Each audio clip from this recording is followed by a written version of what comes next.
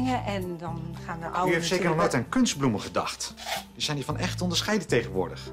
En ze staan veel lager. Eh, Ja, maar die heb ik er juist allemaal uitgegooid. Ik geef de voorkeur aan verse bloemen. Ruiken ook frisser. Hm?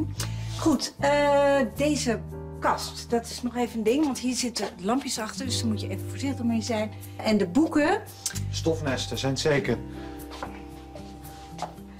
ja, eh, de schilderijen. Eh, uiteraard alleen de... Ben, hoe bevalt de nieuwe werkplek? Meneer Sanders, maar als ik zo vrij mag zijn... Je kunt toch merken dat de heer des huizes een kunstkenner is. Ja, ja, dat klopt, ja. U bent ook een liefhebber? Oh, absoluut. Absoluut.